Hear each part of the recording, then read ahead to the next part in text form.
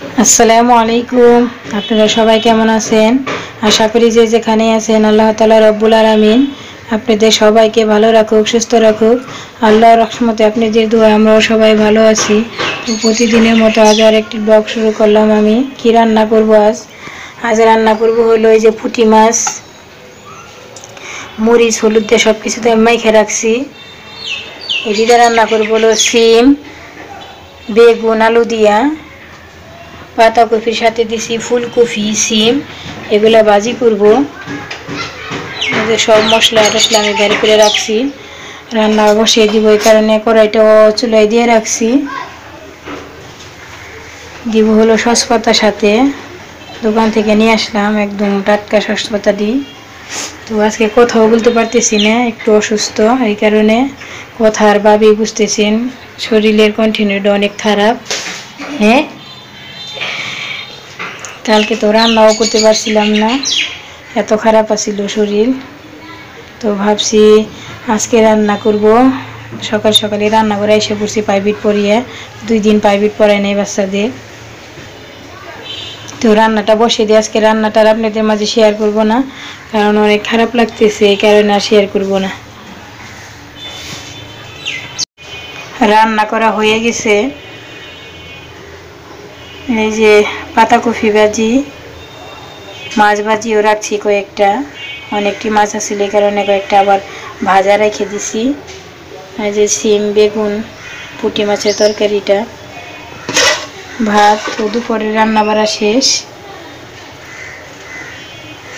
কথা কইতেও পারতেছি না, এতটা খারাপ লাগতেছে শরীর, অনেক খারাপ। তো এখনকার মতো ক্যামেরা জায়গায় অফ থাকব, কারণ কোন সময় কি করতে পারি জানি না, অনেক খারাপ লাগতেছে। এই তো মেয়ে খাইতে বসল।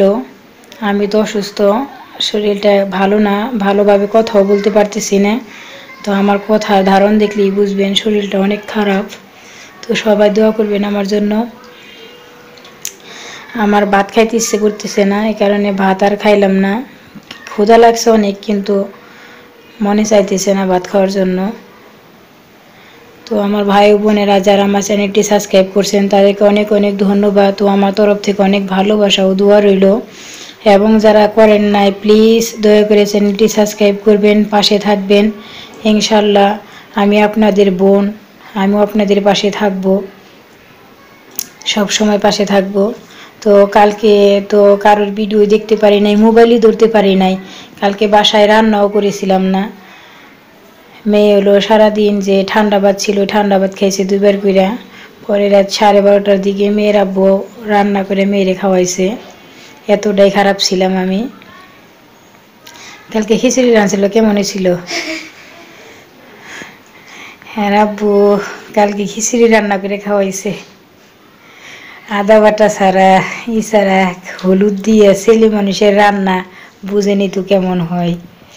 তো মেয়ে তো বলতেছে কি আমার আম্মু রান্ধে কেমনে? তুমি রাঁধছো কেমনে?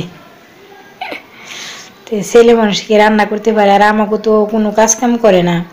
রান্না বাড়ি আমি যদি বাড়িতে না থাকি আমার জন্য গোসলখানার মধ্যে লুঙ্গি ডৌড়াই খেয়ে দেয় সে আবার কোন কাজ করতে পারব? কেমন হয়েছিল কও? তোমার আব্বুর খিচুড়ি? আম্মুরটা ভালো হয় না আব্বুরটা ভালো হয়েছিল? ঠিক আছে তাহলে তোমার আব্বুরে রান্না করে খাওয়াইতে কি হ্যাঁ? ঠিক আছে। তাইলে কইলা কে যে আমার আম্মুর ডই কেমনে তোমার ডইছি কেমনে? হুম? কথা কোনো কে? আপু উল্টা মাখাইছিল। একবার মাখিয়ে এনে তারপরে যে তেল দিছে। হ্যাঁ তাই। তো সবাই ভালো থাকবেন সুস্থ থাকবেন।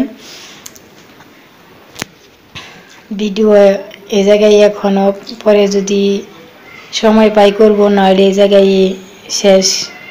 তো সবাই আমার পাশে থাকবেন আমাকে কেউ ভুল বুঝবেন না।